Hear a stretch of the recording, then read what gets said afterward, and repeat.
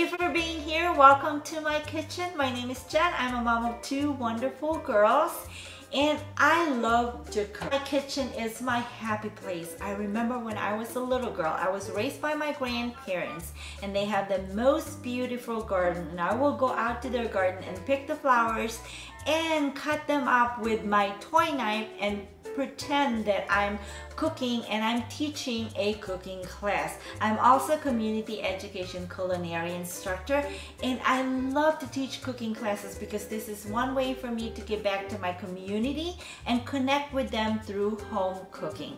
So if you're interested in taking cooking classes, just click the link below for more details. Have a wonderful day and see you next time. Bye-bye for now.